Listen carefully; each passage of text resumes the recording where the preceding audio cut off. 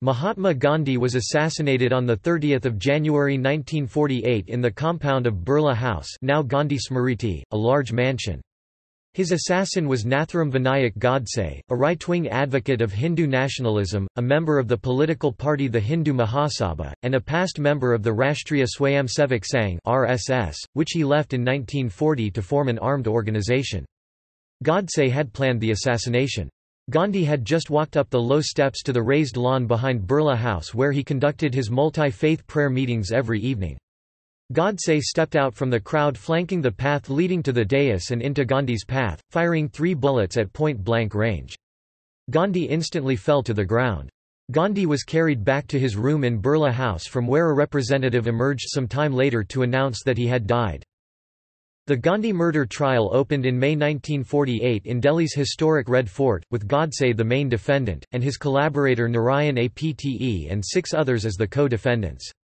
According to Markovits 2004, Godse tried to use the courtroom as a political forum by reading a long declaration in which he attempted to justify his crime. He accused Gandhi of complacency towards Muslims, blamed him for the sufferings of partition, and generally criticized his subjectivism and pretension to a monopoly of the truth. Quote, According to J. Edward Mallet 2012, Godse blamed Gandhi for continuing to appease Muslims in such a manner that my blood boiled and I could tolerate him no longer. The trial was rushed through, the haste sometimes attributed to the Home Minister Vallabhbhai Patel's desire to avoid scrutiny for the failure to prevent the assassination, the trial was public, but the statement that Nathuram Godse gave during the trial on why he killed Gandhi was immediately banned by the Indian government. Godse and APTE were sentenced to death on 8 November 1949. They were hanged in the Ambala jail on 15 November 1949.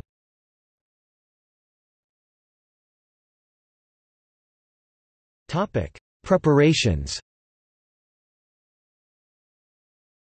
In early September 1947, Gandhi had moved to Delhi in order to help stem the violent rioting there and in the neighbouring province of East Punjab. The rioting had come in the wake of the partition of the British Indian Empire, which had accompanied the creation of the new independent dominions of India and Pakistan, and involved large, chaotic transfers of population between them. Nathuram Vinayak Godse, and his assassination accomplices, were residents of the Deccan region. Godse had previously led a civil disobedience movement against Osman Ali Khan, the Muslim ruler of the princely Deccan region Dominion of Hyderabad state in British India. Godse joined a protest march in 1938 in Hyderabad, where Hindus were being discriminated against, according to Fetherling. He was arrested for political crimes and served a prison sentence. Once he was out of prison, Godse continued his civil disobedience and worked as a journalist reporting the sufferings of Hindu refugees escaping from Pakistan, and during the various religious riots that erupted in the 1940s. According to Arvind Sharma, the concrete plans to assassinate Gandhi were initiated by Godse and his accomplices in 1948, after India and Pakistan had already started a war over Kashmir. The Government of India, led by Congress leaders, had withheld a payment to Pakistan in January 1948 because it did not want to finance Pakistan, which was at war with India at that time. Gandhi opposed the decision to freeze the payment, and went on a fast unto death on 13 January 1948 to pressure the Indian government to release the payment to Pakistan. The Indian government, yielding to Gandhi, reversed its decision.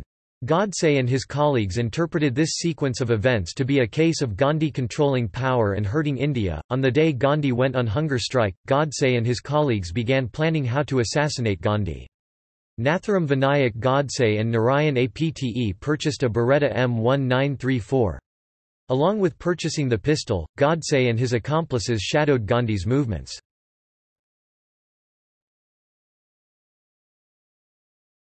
Topic: Assassination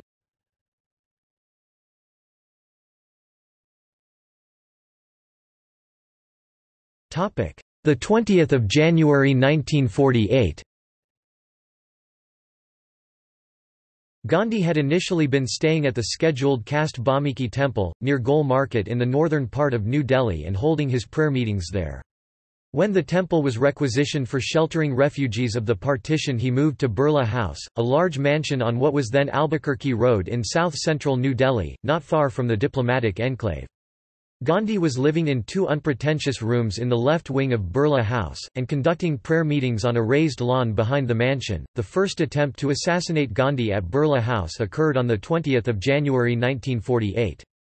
According to Stanley Wolpert, Nathuram Godse and his colleagues followed Gandhi to a park where he was speaking. One of them threw a grenade away from the crowd. The loud explosion scared the crowd, creating a chaotic stampede of people. Gandhi was left alone on the speaker's platform. The original assassination plan was to throw a second grenade, after the crowds had run away, at the isolated Gandhi. But the alleged accomplice Digambar Badge lost his courage, did not throw the second grenade and ran away with the crowd. All of the assassination plotters ran away, except Madanlal Pahwa who was a Punjabi refugee of the partition of India. He was arrested.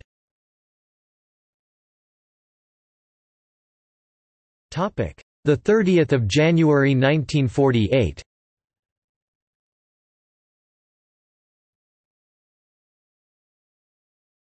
Topic: Manuben Gandhi. Manu Gandhi, called Manuben in Gujarati fashion, was Mohandas Karamchand Gandhi's great niece more precisely, a first cousin twice removed. Abha Chatterjee, Chatterjee was a girl adopted by the Gandhis who would later marry Gandhi's great-nephew, Kanu Gandhi. They were walking with Gandhi when he was assassinated. According to Last Glimpses of Bapu, a memoir by Manuben Gandhi, Mahatma Gandhi Bapu started the day in Birla Bhawan by listening to a recitation of the Bhagavad Gita. He then worked on a Congress constitution he wanted to publish in the Harijan, had his bath and massage at 8 am, and reprimanded Manuben to take care of herself since her health was not what it should be for an 18-year-old. Gandhi, aged 78, was weighed after his bath and was 109.5 pounds 49.7 kilograms. He then ate lunch with Pyarelalji discussing Noakhali violence. After lunch, states Manuben, Gandhi napped. After waking up, he had a meeting with Sardar Dada. Two Kathiawar leaders wanted to meet him, and when Manuben informed Gandhi that they wanted to meet him, Gandhi replied, "'Tell them that, if I remain alive, they can talk to me after the prayer on my walk.'" According to Manuben's memoir the meeting between Sardar Dada and Gandhi went past the scheduled time and Gandhi was about 10 minutes late to the prayer meeting. He began his walk to the prayer location by walking with Manuben to his right and Abha to his left, holding onto them as walking sticks. A stout young man in khaki dress, wrote Manuben, pushed his way through the crowd bent over and with his hands folded. Manuben thought that the man wanted to touch Gandhi's feet. She pushed the man aside saying, Bapu is already ten minutes late, why do you embarrass him? Godse pushed her aside so forcibly that she lost her balance and the rosary, notebook, and Gandhi's spittoon she was carrying, fell out of her hands. She recalled that as she bent to the ground to pick up the items she heard four shots, resounding booms, and she saw smoke everywhere. Gandhi's hands were folded, with his lips saying, Hey Ra less than pre greater than slash pre greater than dot dot dot ma. Hey Ra.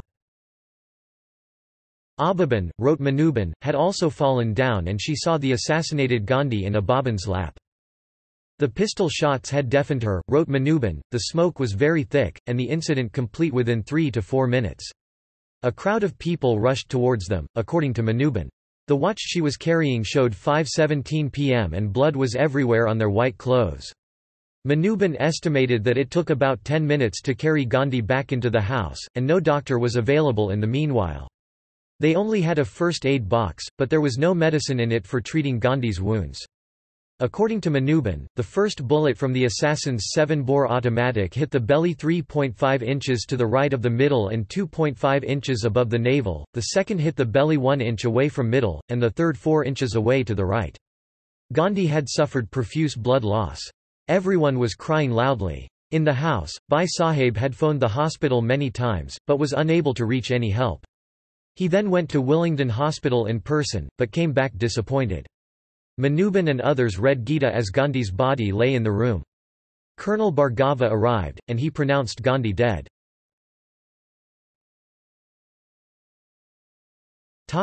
Herbert Reiner According to some reports, while the attending crowd was still in shock, Gandhi's assassin Godse was seized by Herbert Reiner Jr., a 32-year-old, newly arrived vice-consul at the American Embassy in Delhi. According to an obituary for Reiner published in May 2000 by the Los Angeles Times, Reiner's role was reported on the front pages of newspapers around the world. According to Stratton 1950, on January 30, 1948, Reiner had reached Birla House after work, arriving 15 minutes before the scheduled start of the prayer meeting at 5 p.m., and finding himself in a relatively small crowd.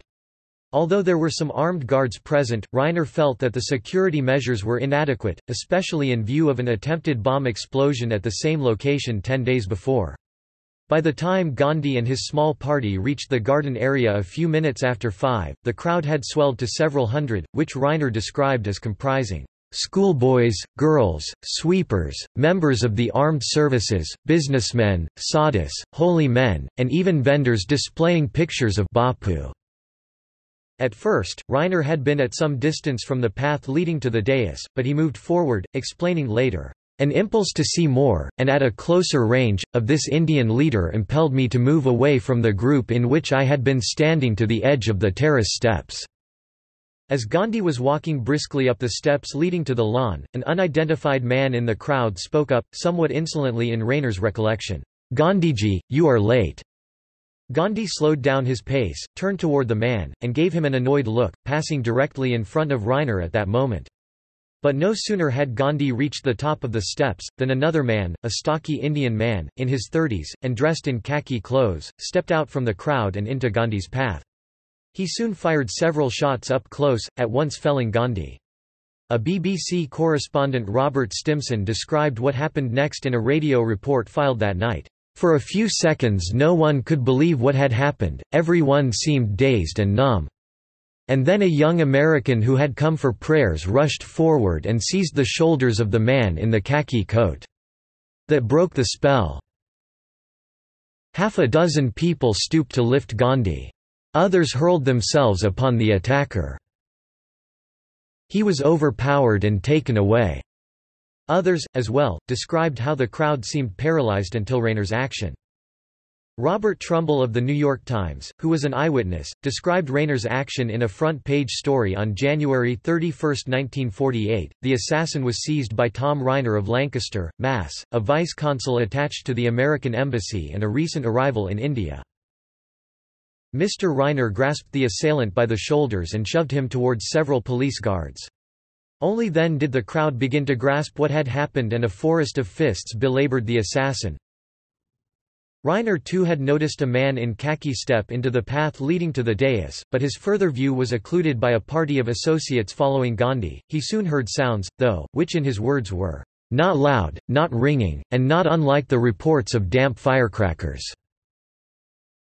and which for a moment made him wonder if some sort of celebration was underway.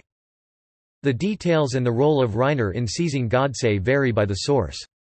According to Frank Alston, Reiner stated that Godse stood nearly motionless with a small beretta dangling in his right hand and to my knowledge made no attempt to escape or to take his own fire. Moving toward Godse I extended my right arm in an attempt to seize his gun but in doing so grasped his right shoulder in a manner that spun him into the hands of Royal Indian Air Force men, also spectators, who disarmed him. I then fastened a firm grasp on his neck and shoulders until other military and police took him into custody. According to Tunzelmann, Godse was seized and pummeled by Reiner. According to Khalid Gauba, Reiner was the unsung hero, and had he not acted, Godse would probably have shot his way out. Reiner was standing in the front row, states Pramod Kapoor, and he seized and held Godse till the police arrived, but his name only appeared in some American newspapers. According to Bamzai and Damle, during the assassination trial, the government did not call to the stand American Marine Herbert Tom Reiner who caught Godse or the nephew of then Congress Minister Takmal Jain of Madhya Bharat Ministry 1948, as well as many others.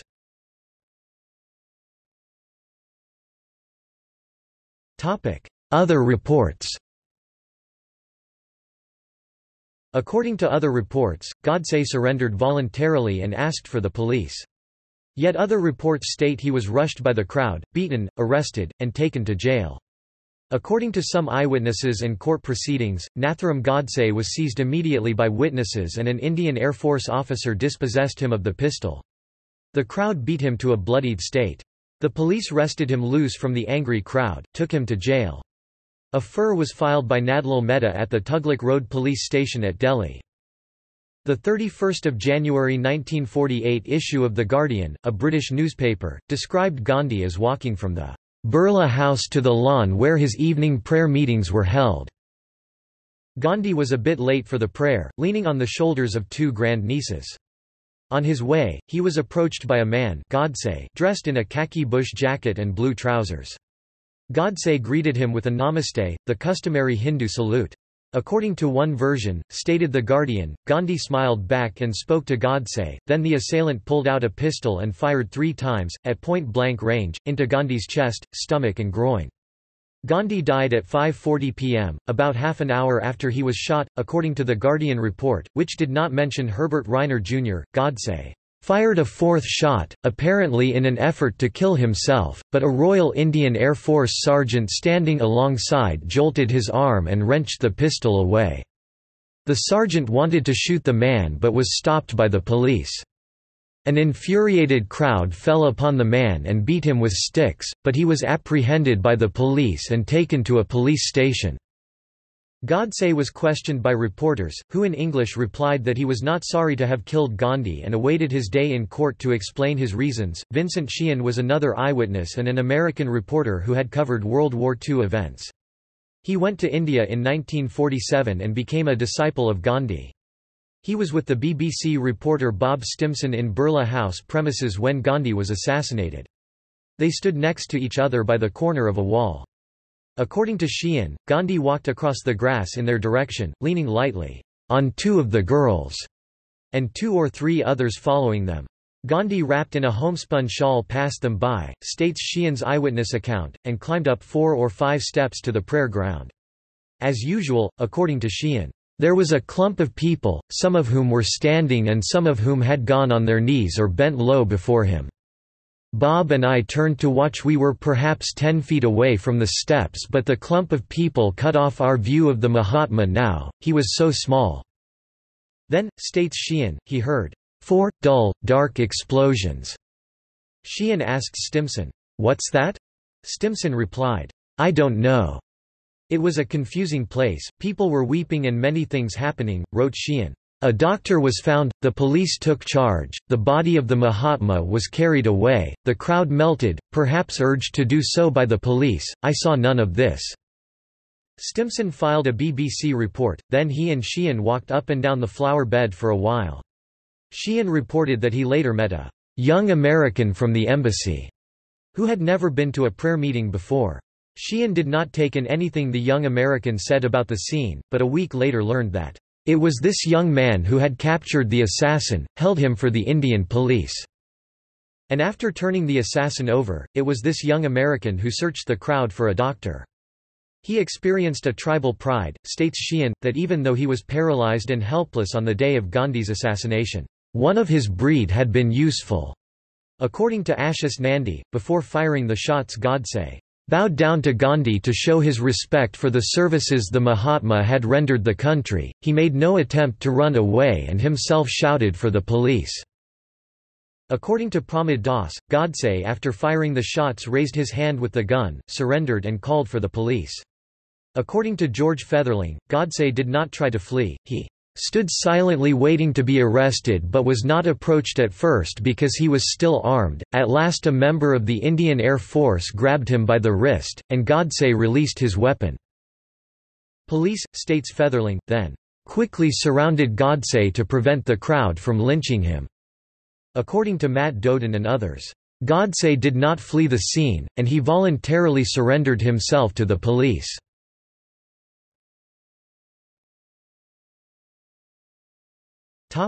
Death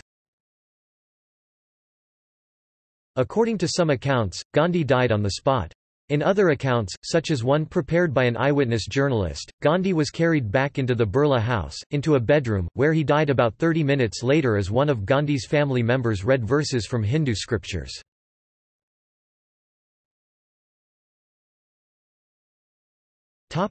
Motives During the subsequent trial, and in various witness accounts and books written since, the motivation of Godse has been summarized, speculated about and debated. Godse did not deny killing Gandhi, and made a long statement explaining his motivations for the assassination. Some of these motivations were Godse felt that the massacre and suffering caused during, and due to, the partition could have been avoided if Gandhi and the Indian government had acted to stop the killing of the minorities Hindus and Sikhs in West and East Pakistan. He stated Gandhi had not protested against these atrocities being suffered in Pakistan and had instead resorted to fasts. In his court deposition, Godse said, I thought to myself and foresaw I shall be totally ruined, and the only thing I could expect from the people would be nothing but hatred, if I were to kill Gandhiji. But at the same time I felt that the Indian politics in the absence of Gandhiji would surely be proved practical, able to retaliate, and would be powerful with armed forces. Godse called Gandhi subjective, someone who pretended to have a monopoly on truth. He stated that Gandhi thought of himself as the final judge of what is true or false, right or wrong, and the suffering of Hindus did not matter to him. Godse claimed that his group of volunteers and he were social workers who had worked across religious and caste boundaries for years to help their fellow Indians, and he was upset with Gandhi's actions and willingness to ignore non-Muslim interests and make concessions to Muslims. Godse said that Gandhi exploited the feelings of tolerant Hindus with one-sided practices. Gandhi's recent prayer meetings in Hindu temples, said Godse, had started the practice of reading passages from the Quran, despite Hindus protesting this practice. However, according to Godse, Gandhi dared not read the Gita in a mosque in the teeth of Muslim opposition, and Gandhi knew what a terrible Muslim reaction would have been if he had done so. Godse alleged that Gandhi knew it is safe to trample on the tolerant Hindu. Godse wanted to show that a Hindu too can be intolerant. Godse stated that Gandhi's fast to pressure the Indian government to release the final payment to Pakistan that it had previously frozen because of the war in Kashmir, and the Indian government's subsequent policy reversal, was proof that the Indian government reversed its decision to suit the feelings of Gandhi. India, said Godse, was not being run by the force of public opinion, but by Gandhi's whims. Godse added that he admired Gandhi for his lofty character, ceaseless work and asceticism, and Gandhi's formidable character meant that his influence outside of the due process would continue while he was alive. Gandhi had to be removed from the political stage, so that India can begin looking after its own interests as a nation, according to Godse. Godse stated he did not oppose Gandhian ahimsa teachings, but Gandhi's talk of religious tolerance and nonviolence had already caused India to cede Pakistan to Muslims, uprooted millions of people from their home, caused immense violent loss of life and broken families. He believed that if Gandhi was not checked he would bring destruction and more massacres to Hindus. In Godse's opinion, the only answer to violent aggression was violent self-defense. Godse stated that Gandhi had betrayed his Hindu religion and culture by supporting Muslims at the expense of Hindus. Because his lectures of ahimsa non-violence were directed at and accepted by the Hindu community only. Godse said, I sat brooding intensely on the atrocities perpetrated on Hinduism and its dark and deadly future if left to face Islam outside and Gandhi inside, and I decided all of a sudden to take the extreme step against Gandhi. I did not hate Gandhi, I revered him because we both venerated much in Hindu religion, Hindu history and Hindu culture, we both were against superstitious aspects and the wrongs in Hinduism. Therefore I bowed before Gandhi when I met him, said Godse, then performed my moral duty and killed Gandhi.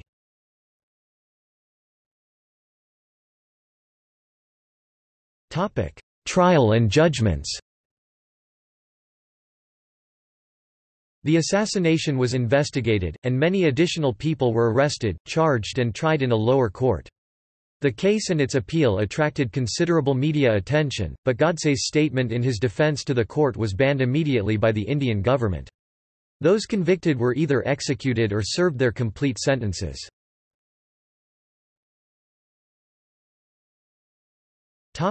Investigation and arrests Along with Nathuram Godse many other accomplices were arrested. They were all identified as prominent members of the Hindu Mahasabha, an organization active in opposing the Muslim ruler of the princely state of Hyderabad state in the Deccan region. Before the Indian Army forcibly removed the Nizam in Operation Polo in September 1948, along with Godse and accomplices, police arrested the 65 year old Vinayak Damodar Savarkar, who they accused of being the mastermind behind the plot. Topic. Arrested. The accused, their place of residence, caste and occupational background were as follows. Nathuram Vinayak Godse Pune, Maharashtra, Brahmin, editor, journalist. Narayan Apte Pune, Maharashtra, Brahmin, former British military service, teacher, newspaper manager. Digambar Badge Ahmednagar, Maharashtra, Shudra, weapons merchant Shankar Kistayya Pune, Maharashtra, Shudra, rickshaw puller, domestic servant of Digambar Badge Dattatreya Parchure Gwalior, Madhya Pradesh, Brahmin, medical service, caregiver. Vishnu Karkare Ahmednagar, Maharashtra, Shudra, orphan, odd jobs in hotels, musician in a traveling troupe, volunteer in relief efforts to religious riots Noakhali, later restaurant owner Madanlal Pahwa Ahmednagar refugee camp, Maharashtra, caste unknown, former British Indian Army soldier, unemployed, Punjabi refugee who migrated to India from Pakpattan Pakistan on the eve of partition, after his father and aunt were massacred by a Muslim mob. Gopal Godse Pune, Maharashtra, Brahmin and brother of Nathuram Godse, storekeeper, merchant Vinayak Damodar Savarkar Mumbai, Maharashtra, Brahmin, author, lawyer, former president of Akhil Bharatiya Hindu Mahasabha.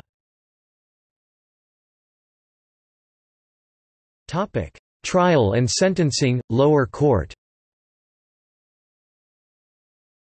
The trial began on 27 May 1948 and ran for eight months before Justice Atma Sharan passed his final order on 10 February 1949. The prosecution called 149 witnesses, the defense none. The court found all of the defendants except one guilty as charged. Eight men were convicted for the murder conspiracy, and others convicted for violation of the Explosive Substances Act. Savarkar was acquitted and set free due to lack of evidence. Nathuram Godse and Narayan Apte were sentenced to death by hanging and the remaining six including Godse's brother, Gopal were sentenced to life imprisonment.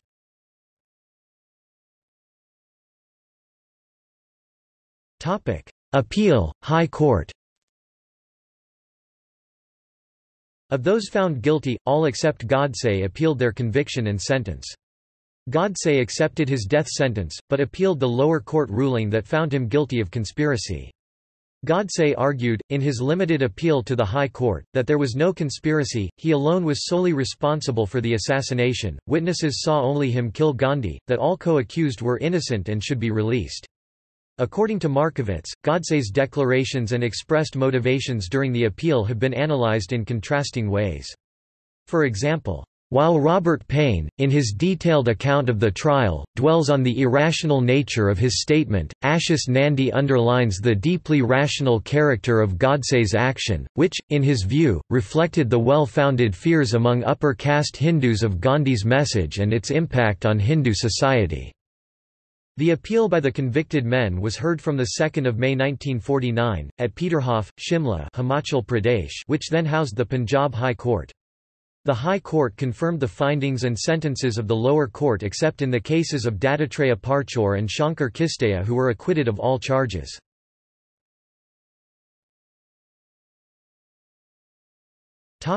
Executions Godse and Apte were sentenced to death on 8 November 1949.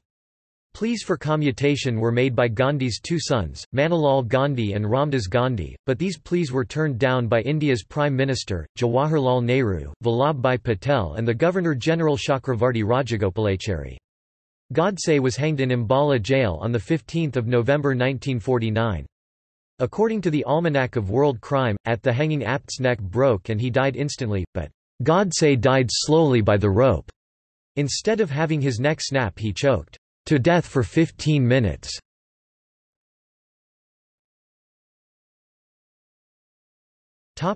Censorship and judges' comments The government of India made the assassination trial public. It was widely followed until the day of Godse's statement.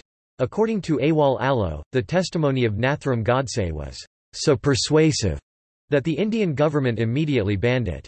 Gopal Godse, a co-accused who was sentenced to life in prison, wrote a memoir which was published in 1967.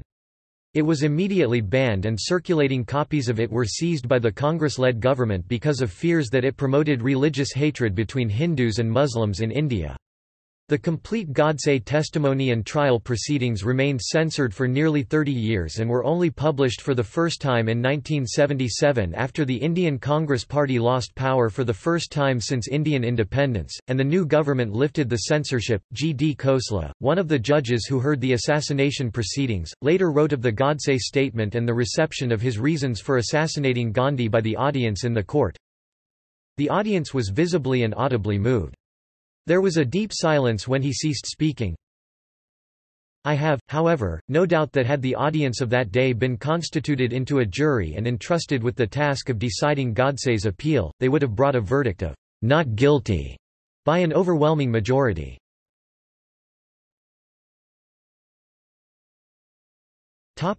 Aftermath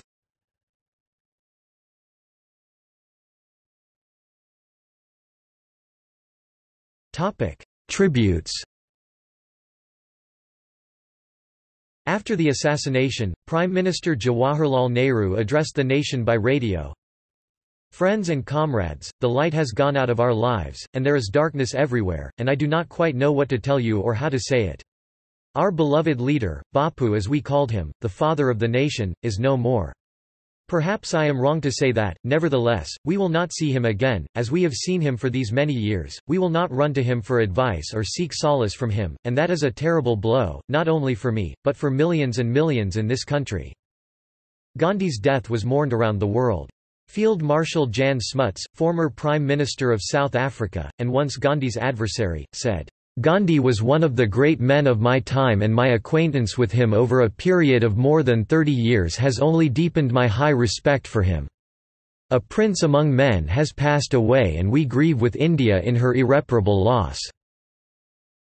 The British Prime Minister Clement Attlee said in a radio address to the nation on the night of January 30, 1948, Everyone will have learnt with profound horror of the brutal murder of Mr Gandhi and I know that I am expressing the views of the British people in offering to his fellow countrymen our deep sympathy in the loss of their greatest citizen. Mahatma Gandhi, as he was known in India, was one of the outstanding figures in the world today. For a quarter of a century this one man has been the major factor in every consideration of the Indian problem.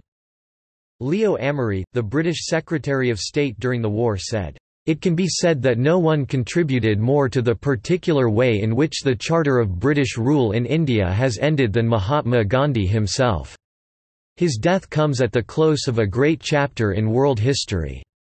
In the mind of India, at least, he will always be identified with the opening of the new chapter which, however troubled at the outset, we should all hope, will develop in peace, concord and prosperity for India. Lord Pethick Lawrence, the British Secretary of State in 1948 said, what was the secret of his power over the hearts and minds of men and women? In my opinion it was the fact that he voluntarily stripped himself of every vestige of the privilege that he could have enjoyed on account of his birth, means, personality and intellectual pre-eminence and took on himself the status and infirmities of the ordinary man. When he was in South Africa as a young man and opposed the treatment of his fellow countrymen in that land, he courted for himself the humiliation of the humblest Indian that he might in his own person face the punishment meted out for disobedience. When he called for non-cooperation with the British in India he himself disobeyed the law and insisted that he must be among the first to go to prison. He never claimed to be any other than an ordinary man. He acknowledged his liability to error and admitted that he had frequently learnt by his mistakes. He was the universal brother, lover and friend of poor, weak, erring, suffering humanity. Albert Einstein wrote, he died as the victim of his own principles, the principle of nonviolence. He died because in time of disorder and general irritation in his country, he refused armed protection for himself. It was his unshakable belief that the use of force is an evil in itself, that therefore it must be avoided by those who are striving for supreme justice to his belief. With his belief in his heart and mind, he has led a great nation on to its liberation. He has demonstrated that a powerful human following can be assembled not only through the cunning game of the usual political maneuvers and trickery but through the cogent example of a morally superior conduct of life. The admiration for Mahatma Gandhi in all countries of the world rests on that recognition. The New York Times in its editorial wrote, "...it is Gandhi the saint who will be remembered, not only on the plains and in the hills of India, but all over the world." He strove for perfection as other men strive for power and possessions. He pitied those to whom wrong was done, the East Indian labourers in South Africa, the untouchable children of God of the lowest caste of India, but he schooled himself not to hate the wrongdoer. The power of his benignity grew stronger as his potential influence ebbed. He tried in the mood of the New Testament to love his enemies. Now he belongs to the ages. Over two million people joined the five-mile-long funeral procession that took over five hours to reach Raj Ghat from Birla House, where he had been assassinated. Gandhi was cremated in a funeral pyre.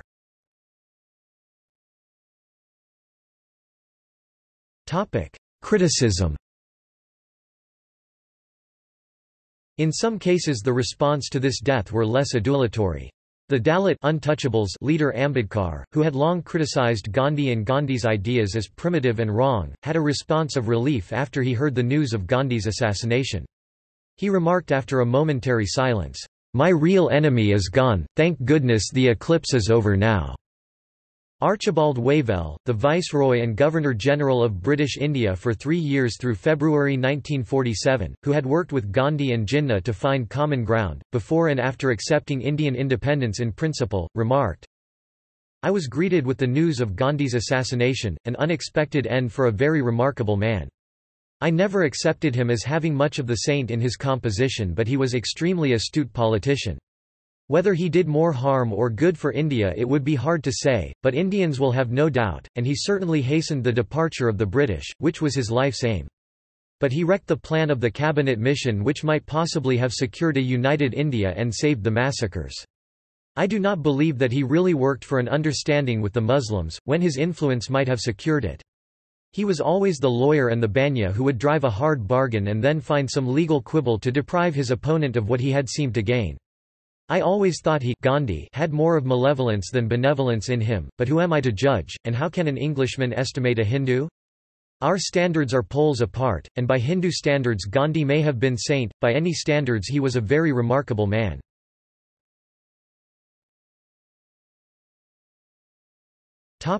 Riots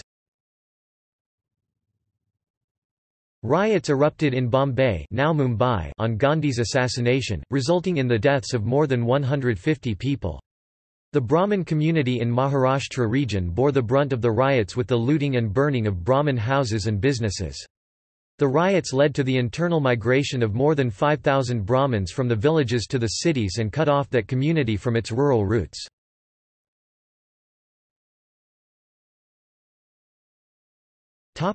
Previous attempt in 1934 A prior, unsuccessful attempt, to assassinate Gandhi occurred on 25 June 1934 at Pune. Gandhi was in Pune along with his wife, Kasturba Gandhi, to deliver a speech at Corporation Auditorium. They were travelling in a motorcade of two cars. The car in which the couple was travelling was delayed and the first car reached the auditorium. Just when the first car arrived at the auditorium, a bomb was thrown, which exploded near the car. This caused grievous injury to the chief officer of the Pune Municipal Corporation, two policemen and seven others. Nevertheless, no account or records of the investigation nor arrests made can be found. Gandhi's secretary, Pyarelal Nayar, believed that the attempt failed due to lack of planning and coordination.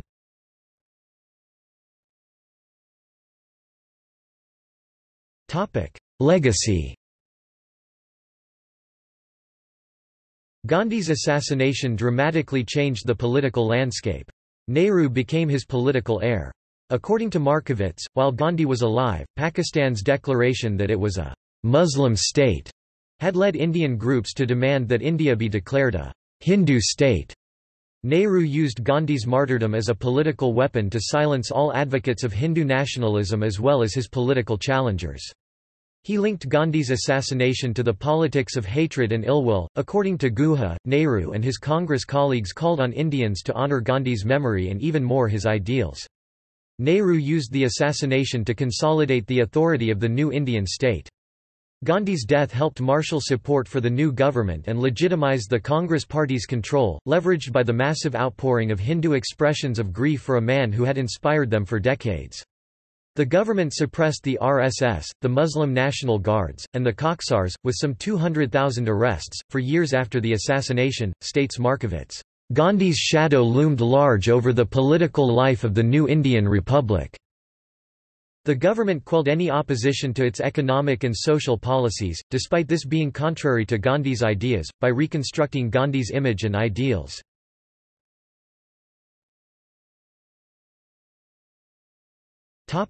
In media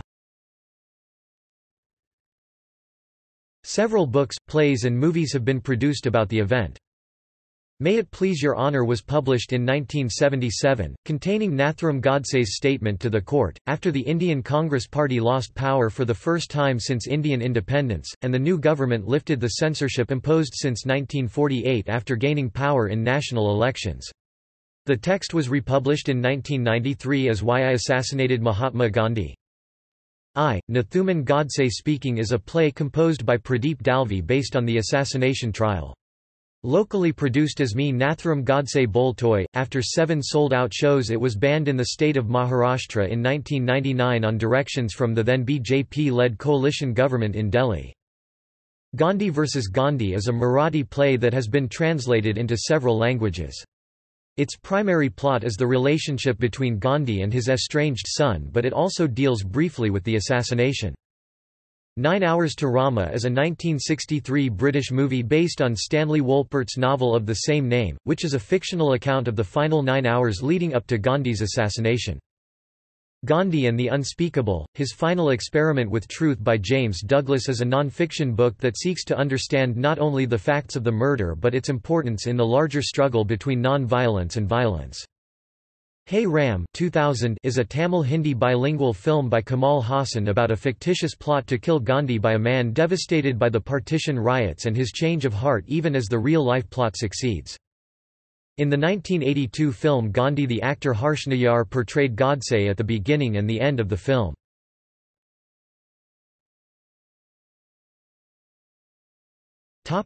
See also. Kapur Commission